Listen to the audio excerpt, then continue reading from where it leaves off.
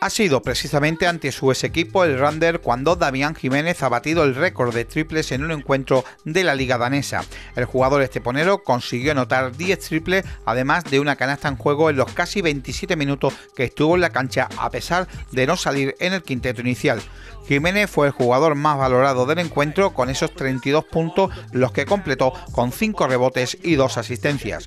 Su equipo, el Rabbit, ha finalizado la liga regular en la cuarta posición debido a varias bajas sufridas durante la temporada por lesiones. A partir del lunes darán comienzo los playoffs por el título.